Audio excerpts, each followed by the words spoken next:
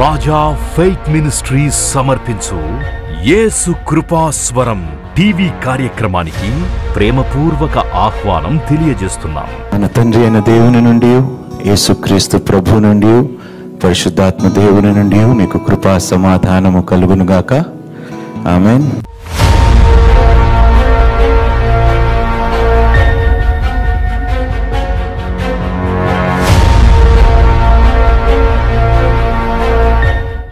ఈరోజు ప్రశ్న ఏమిటంటే మీ ముందు మీ సాకు ఏమిటి?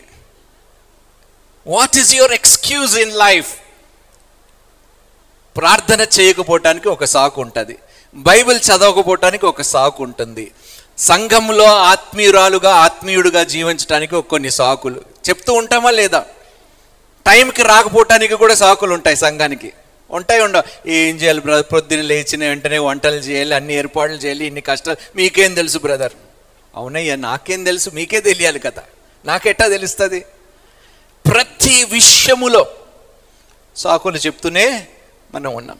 ఎవరి దగ్గర సాకులు చెప్తున్నామంటే ఎవడైతే మిమ్మల్ని బహుగా ప్రేమించాడో ఎంతగా ప్రేమించాడో అంత ప్రాణాలు పెట్టి మిమ్మల్ని విమోచించి విడిపించి ఎంతగా తనను తాను విరగగొట్టుకున్నాడో మిమ్మల్ని ముందుగా ఎంచుకొని ఆయనని నలగగొట్టుకున్నాడే. ఆయన దగ్గరే సాకులా? ఆయన దగ్గరే అబద్ధాలా? ఆయన దగ్గరే ముచ్చట్లు పెడతామా? ఒక్కసారి మనం ఆలోచించాలి. ఇంట్లో అన్ని పనులు చేయటానికి టైం ఉన్నదా? ఉన్నది. మీ వ్యక్తిగత పనులు చేయటానికి టైం ఉన్నదా? ఉద్యోగాలకు వెళ్ళటానికి టైం ఉన్నదా? చెప్పండి. ముచ్చట్లు పెట్టుకోవటానికి జర టైం ఉన్నదా? స్నేహితులతోని తిరగటానికి కాలక్షేపము చేయటానికి టైం ఉన్నదా? ఉన్నదా లేదా? మరి దేవుని కొరకు ఎందుకు సాకులు చెప్తున్నారు? దేవునికి దగ్గరికి వచ్చినప్పుడే సాకులు. ప్రభువా టైం లేదు ప్రభువా నేను చాలా బిజీ ప్రభువా. మా బాస్ నన్ను సావగొడుతున్నాడు ప్రభు ఎంత వరకు ఏదో ప్రపంచంలో వాడే వాడు తప్ప ఇంకా ఎవడు వాడు ఆఫీస్లో ఎవడు పని చేయనట్టు. ఎన్ని సాకులు దేవుని దగ్గరికి వచ్చేసరికి బైబిల్ చదువుదాం అంటే బాగా అలసిపోయిన ప్రభు. నువ్వు తెలుసు కదా రా పొద్దు నుంచి సాయంత్రం వరకు ఎంత కష్టపడిన ఇప్పుడు బైబిల్ చదవాలంటే ఎట్టా ప్రభు? ఆయాసం వస్తుంది ప్రభు నీరసంగా ఉంది ప్రభు. అర్థం చేసుకుంటావు కదా ప్రభు. దేవుణ్ణే మనం చెప్తాం అర్థం చేసుకుంటావు కదా.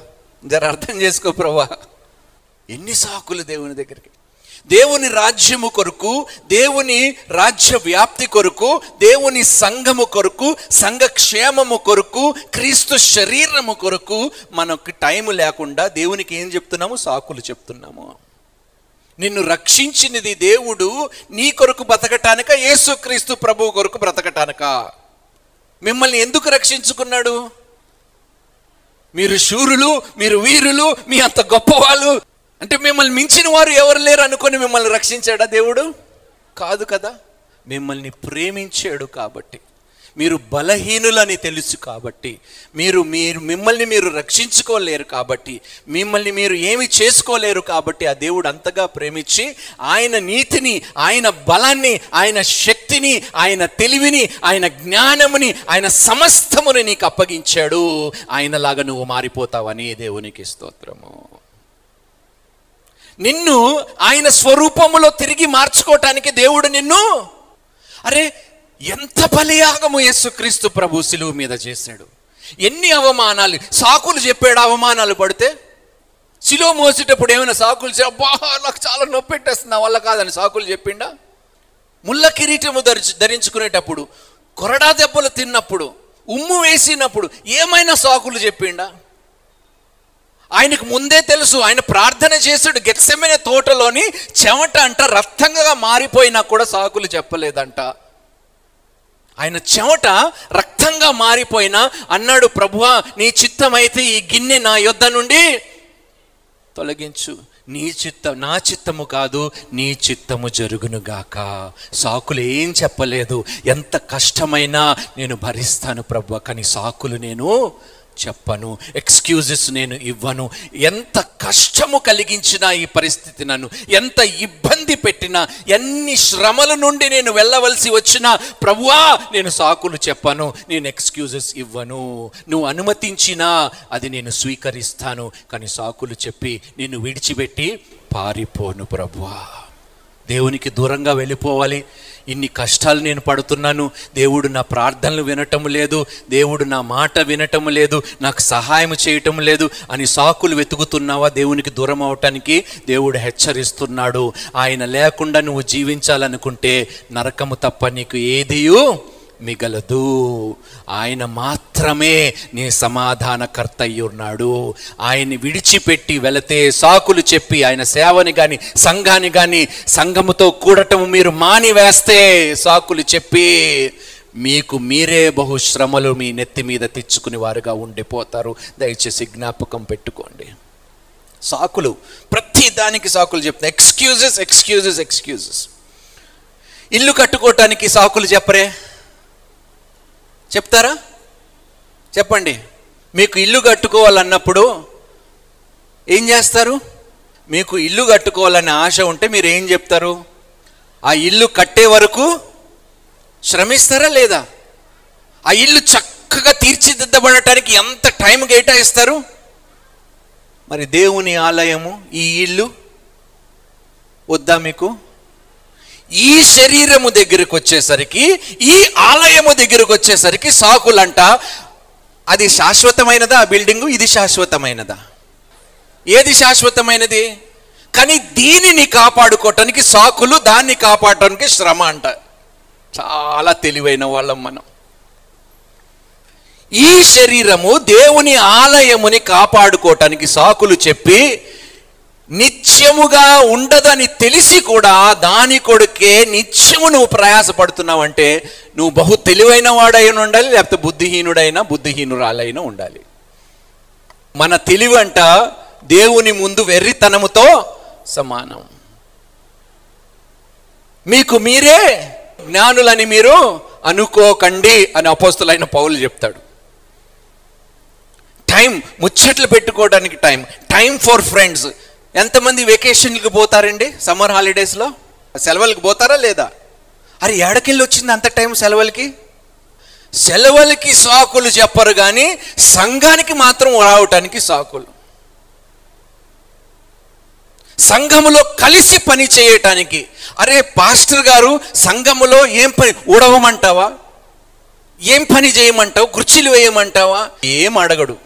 వచ్చినాము విన్నాము పోయినాము అంతే. పాస్టర్ గారేమో కష్టపడుతూనే ఉంటాడు చెప్తూనే ఉంటాడు పాస్టర్కి పని లేదు కాబట్టి. ఎందుకు మీరు పాల్గొనటం లేదు సంఘములో? సంఘ పనుల్లో ఎందుకు పాల్గొన సంఘము ఒక్కడిదేనా? మనం అందరము కలిస్తే కదా సంఘము? సంఘములోనే మనం ఉండి ఇన్ని సాకులు చెప్తున్నామంటే సంఘం ఏ విధంగా కట్టబడుతుంది? సంఘం ఏ విధంగా వర్ధిల్లుతుంది? ఎంతమంది వస్తున్నారు? పోనీ మీరు వెళ్ళే సంఘాల్లో మీరు ఏం చేస్తున్నారు? అక్కడికి వెళ్ళినా కూడా సాకులే చెప్తున్నారు. అరే ఏ సంఘములో ఉన్న సాకులు చెప్పకుండా పని చేసేవారుగా ఉండండి. ఇల్లు కట్టుకోవటానికి టైము ముచ్చట్లు పెట్టుకోవటానికి టైము మూడు పూట్ల తినటానికి జర టైము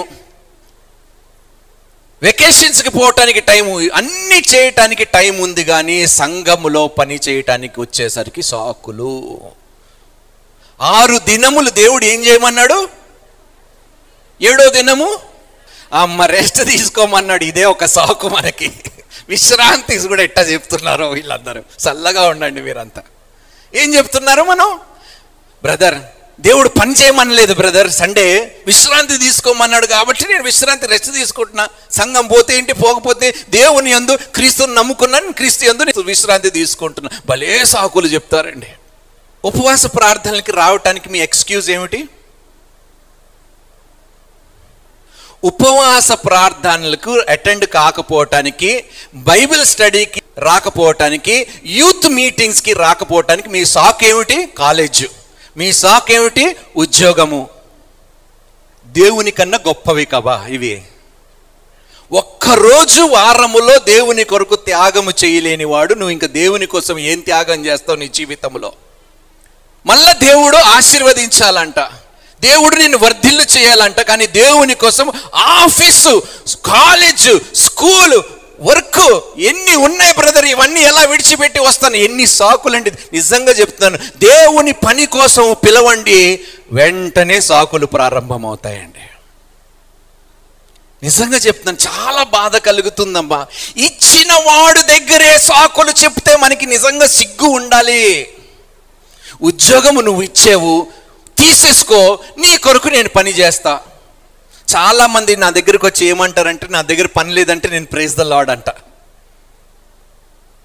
బ్రదర్ నా దగ్గర ఉద్యోగం లేదంటే అబ్బా ప్రేజ్ ద లార్డ్ ప్రభు నీ రాజ్యము కొరకు మరొక సేవకుడు దొరికాడు స్తోత్రం అంటాను. ఉద్యోగం లేనందుకు సంతోషం ఇదేం పాస్టర్ అయ్యా ఉద్యోగం లేదంటే ప్రేజ్ ద లార్డ్ అంటాడు. నీకు ఉద్యోగం దొరకకపోవటానికి కారణం ఏంటో తెలుసు? దేవుడు నిన్ను సేవ చేయమంటున్నాడు.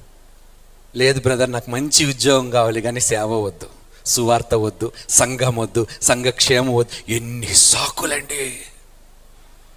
దేవుని దగ్గరికి నీ కొరకు అమ్మా పరిశుద్ధుడా దేవా ఎంత గొప్ప పని చేసావు ప్రభు మా కొరకు. ఎంతగా తప్పించావు ఎంతగా శ్రమ పడ్డావు ఎంతగా ఓర్చుకున్నావు మా పాపం అంటే అసహ్యమని తెలిసి కూడా మా పాపము నీ మీద మోపుకొని నీ నీతిని మాకు అనుగ్రహించావు ప్రభు నీ దగ్గరే మళ్ళీ సాకులు చెప్తున్నావు అంటే నిజంగా సిగ్గులేని వారముగా మేము ఉన్నాము తండ్రి. దేవుడు అనుకోవచ్చు కదా నేను ఎందుకు పోవాలి పాపిష్టి? దేవుడు సాకులు చెప్పడానికి అవకాశం ఉందా? చెప్పండి. దేవుడు చెప్పాడు ఎందుకు పోవాలి?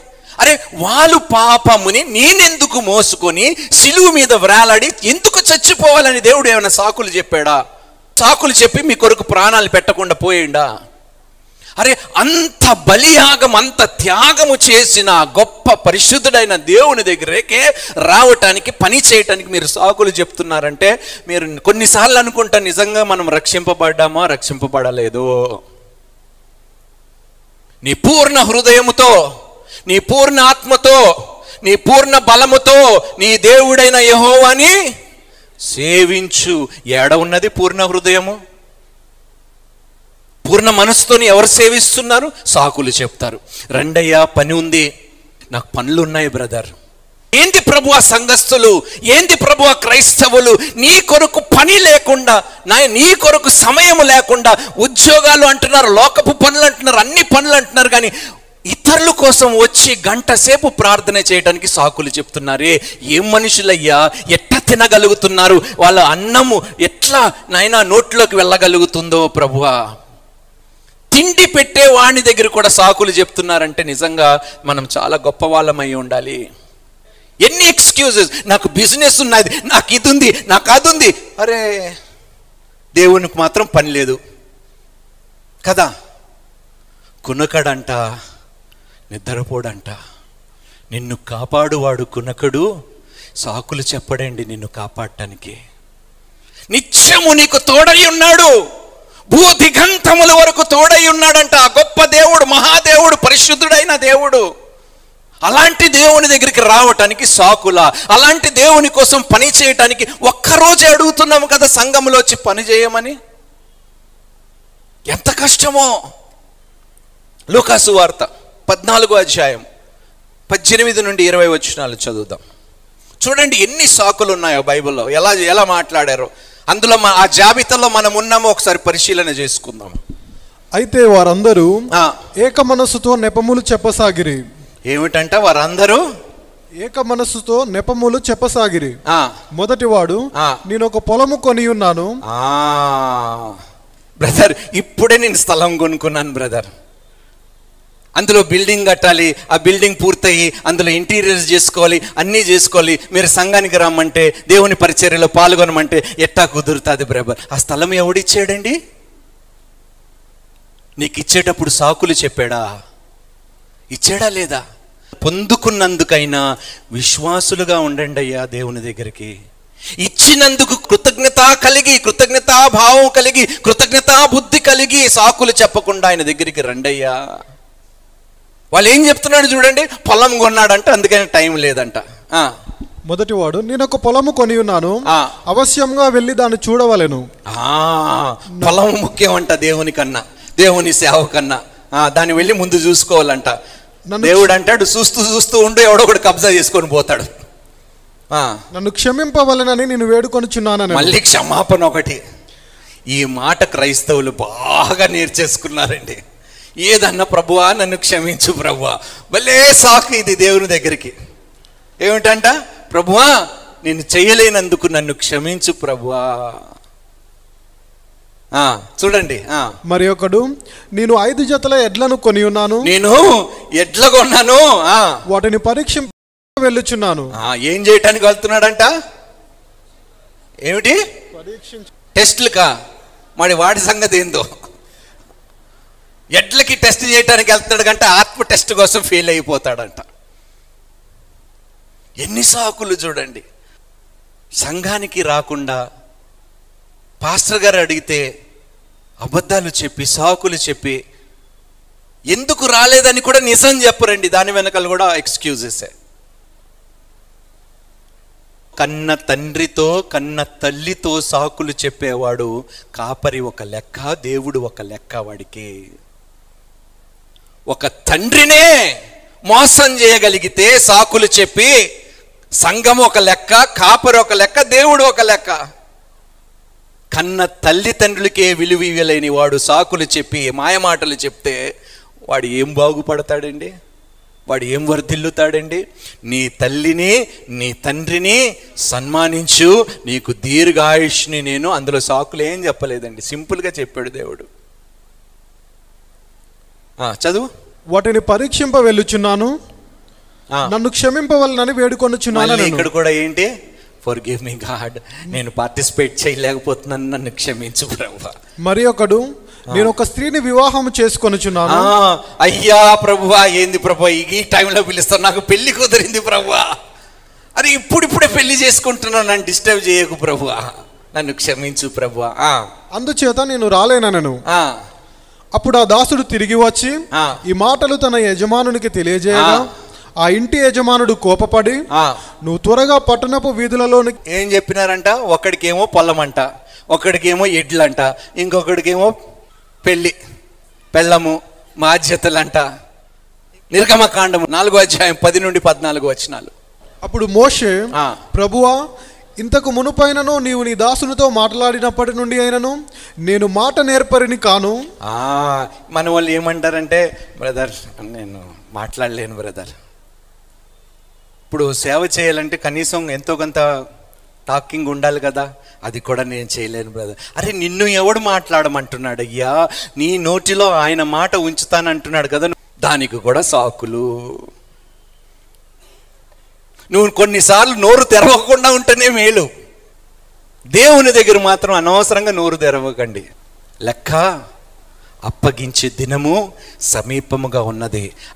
నేను నోటి మాంద్యము నాలుక మాంద్యము గలవాడనని యెహోవాతో చెప్పగా యెహోవా మానవునకు నోరిచ్చిన వాడు ఎవడు?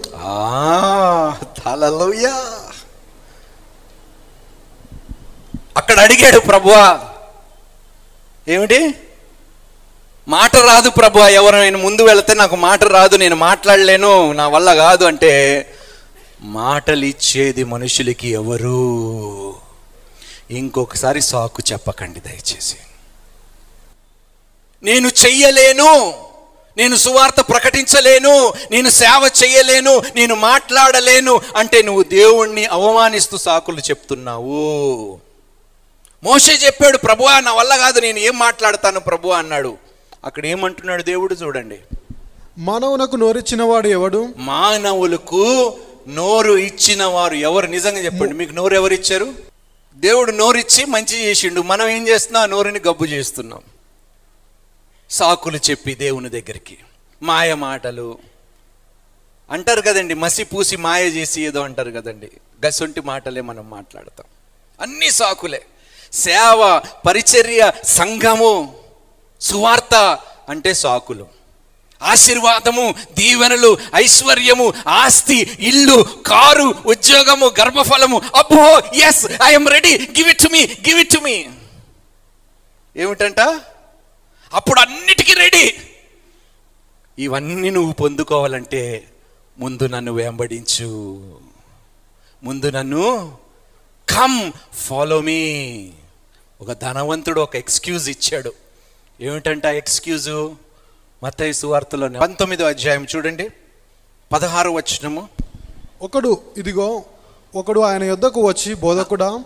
నిత్య జీవం పొందుటకు నేను ఏ మంచి వాడికి ఏం కావాలంట? మీకేం కావాలి? నిత్య జీవం కావాలా? వద్దా? అందరికీ నిత్య జీవము కావాలి. అయితే ఇదిగో ఇది మీకే. ఇది మనకే. చూడండి ఆ. నిత్య జీవము పొందుటకు నేను ఏ మంచి కార్యము చేయవలని ఆయనను అడిగాను.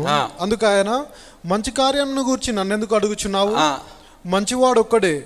నీవు జీవంలో ప్రవేశింపగోరిన ఎడల నీవు జీవములో ప్రవేశింపగోరిన ఎడల ఆజ్ఞలను గైకొనుమని చెప్పాను. ఆజ్ఞలను కొంటున్నారా? ఆజ్ఞలు గైకొనటానికి కూడా సాకులు. చూడండి ఏమన్నాడు. అతడు ఏ ఆజ్ఞలని ఆయనను అడగగా? ఏమిటంట? ఏ ఆజ్ఞలు గైకొంటే నేను ప్రవేశిస్తాను నిత్య జీవి ఇలాంటి మంచి ప్రశ్నలు దేవుణ్ణి అడిగే వాళ్ళు ఉన్నారండి. తెలివి ఎక్కువైపోయి దేవుణ్ణి ఇట్లనే ప్రశ్నిస్తూ ఉంటారు వారు. యేసు నరహత్య చేయవద్దు ఆ, వ్యభిచరింపవద్దు ఆ, దొంగిలవద్దు ఆ. అబద్ధ సాక్ష్యము పలకవద్దు ఆ, తల్లిదండ్రులను సన్మానింపుము. నిన్ను వలని పొరుగు వారిని ప్రేమింపవలనను అనునవియే అని చెప్పాను. అందుకు ఆ యవనుడు ఇవన్నీ అనుసరించుచునే ఉన్నాను చేస్తున్నారా ఇవన్నీ చేస్తున్నారు చేస్తున్నారు ఈ ఆజ్ఞలు పాటిస్తున్నారు వెరీ గుడ్ ఇవన్నీ అనుసరించుచునే ఉన్నాను. ఇకను నాకు కొదువయ్యేమని ఆయనను అడిగాను. అందుకు యేసు. నీవు పరిపూర్ణుడు అగుటకు కోరిన ఎడల. పోయి నీ ఆస్తిని అమ్మి బీదలకిమ్ము. ఆ దేవుడు ఇప్పుడు మిమ్మల్ని కూడా అదే అంటున్నాడు. సాకులు సాకులు నిజంగా నువ్వు నా కొరకు తల్లిని తండ్రిని ఆస్తులని భూములని సహోదరుని సహోదరిని విడిచిపెడితే నువ్వు రంతులుగా నేను తిరిగి వాడిని ఆశీర్వదిస్తాను. అంటే దేవుడు అబద్ధము చెప్తున్నాడా? మీరు అబద్ధాలు ఆడుతున్నారా సాకులు చెప్తూ? అరే ఒక్క రోజు అడుగుతున్నాను నేను. ప్రార్థనలకు రమ్మంటే సాకులు. బైబిల్ స్టడీకి రమ్మంటే సాకులు. ఏం సాకులు చెప్తామండి దేవుని దగ్గర? ఎంతకాలం ఇలా కొనసాగుతాం మనము జీవితములో కానీ దేవుడు అంటాడు అడుగు అడుగు అడుగు అని చెప్తూనే ఉంటాడు. పోయి నీ ఆస్తిని అమ్మి బీదలకిమ్ము ఆ. అప్పుడు పరలోకం మందు నీకు ధనము కలుగును. ఎక్కడ కలుగుతుందంట? ఎవడికి కావాలండి? పరలోకం ఈడ ఉంటే చాలు. ఈడ ఉద్యోగం ఉండి మంచి భార్య మంచి కుటుంబము మంచి ఇల్లు మంచి కారు జర కంఫర్ట్స్ ఉంటే పరలోకం ఎవడు చూసాడండి? ఈ లోకంలో మేము మంచి చూస్తే చాలు. ఆ, నీవు వచ్చి నన్ను వెంబడించమని అతనితో చెప్పాను. ఏమన్నాడు? అన్నీ అమ్మేసి నీవు సంపూర్ణుడు కావాలంటే పరిపూర్ణుడు కావాలంటే అన్నీ అమ్మి నన్ను వెంబడించు. దేవుడు అన్ని విడిచిపెట్టి వచ్చాడా విడిచిపెట్టలేదా? దేనికోసం వచ్చాడంట? నిన్ను వెదికి అన్ని విడిచిపెట్టాడంట. పాపిష్టి వాళ్ళని వెదికి రక్షించటానికి. మనం ఏం చేస్తున్నాము? రక్షణ పొందుకున్న తర్వాత దేవుణ్ణి విడిచిపెడతాం కానీ ఉద్యోగాల్ని కుటుంబాన్ని దేన్ని మాత్రం మనం విడిచిపెట్టాం ఎందుకంటే అవే మనకి ముఖ్యం ఈ లోకంలో ఎన్ని సాకులు చెప్తామండి. అయితే ఆ యవనుడు మిగుల ఆస్తి గలవాడు గనుక ఆ. మాట విని వ్యసనపడుచు వెళ్ళిపోయాను. ఏమంట? ఏం పడ్డాడంట? చాలా బాధపడ్డాడు. ఏంటి దేవుడు ఇంత అడిగేశాడు నన్ను? దేవుడు అంటున్నాడు నీ దగ్గర ఉన్నదంతా నాకు ఇవ్వు నా దగ్గర ఉన్నదంతా నేను నీకు ఇస్తాను నీ దగ్గర ఉన్నదంతా నాకు ఇవ్వు. నా దగ్గర ఉన్నదంతా నేను నీకు ఇస్తాను. నా ప్రక్కన నా సింహాసనం ప్రక్కన నా కుడి హస్తము ప్రక్కన నిన్ను కూర్చోబెట్టి ఏలేవాడిగా ఏలేదానిగా చెయ్యకపోతే నన్ను అడుగు. అన్నాడా లేదా బైబిల్లో? చేస్తానంటున్నాడా లేదా దేవుడు? లూకాసు వార్త తొమ్మిదవ అధ్యాయము యాభై తొమ్మిది నుండి అరవై రెండు వచనాలు. ఆయన మరి ఒకనితో నా వెంట రమ్మని చెప్పాను. అతడు నేను వెళ్ళి మొదట నా తండ్రిని పాతిపెట్టి వాళ్ళ ఇప్పుడు ఎంత గొప్ప మాట అంటే వాళ్ళ అయ్య ఎప్పుడు చచ్చిపోతాడో వానికే తెలియదు అవునా? వాళ్ళ అయ్యకే తెలియదు అవునా కాదా చెప్పండి? వాడు ఏమంటున్నాడు "ఆ, ముందు మా అయ్య చచ్చిపోనియండి. చనిపోయిన తర్వాత మా అయ్యని నేను పాతిపెట్టి అప్పుడు నేను అప్పుడు దేవుడు ఏమంటాడు తెలుసా? Let the dead bury the dead. మృతులు మృతులని పాతిపెట్టుకొననిమ్ము అక్కడికి చచ్చిపోలేదు వాళ్ళ తండ్రి. That is not the context there అక్కడ కాంటెక్స్ట్ ఏమిటి? వాడు ఉద్దేశం ఏమిటంటే మా తండ్రి ముసలివాడు రేపో మాపు పోతాడు ఆయన పోయిన తర్వాత పాతేసిన తర్వాత నేను నిన్ను వెంబడిస్తాను. సాకులండి. ఎంత మందిని దేవుడు యేసుక్రీస్తు ప్రభు పిలిచాడో తెలుసా? అనేకులు పిలువబడ్డారంట. ఏమిటి? అనేకులు పిలువబడ్డారంట. ఏర్పరచబడిన వారు అమ్మా కొందరే అంటే ఆలోచించండి అమ్మా కొంతమందిలో మనం ఉన్నామో లేదో. సాకులు చెప్పేవారు ఉండరమ్మా కొంతమందిలోని. దేవుని దగ్గరికి వచ్చేసరికి దేవుని నీతి కొరకు దేవుని రాజ్యము కొరకు సంఘము కొరకు సంఘక్షేమము దగ్గరికి వచ్చేసరికి మీరు సాకులు చెప్తున్నారంటే మీరు నిజంగా దేవుని పిలుపుని పొందుకోలేని వారుగానే బ్రతుకుతున్నారు. అనేకులు పిలువబడ్డారంట కానీ ఏర్పరచబడ్డవారు ఎందుకో తెలుసా? వాళ్ళు పిలుపుకు తగ్గట్టు బ్రతికేరు కాబట్టి నన్ను వెంబడించంటే అన్ని విడిచిపెట్టి వెంబడించాడు.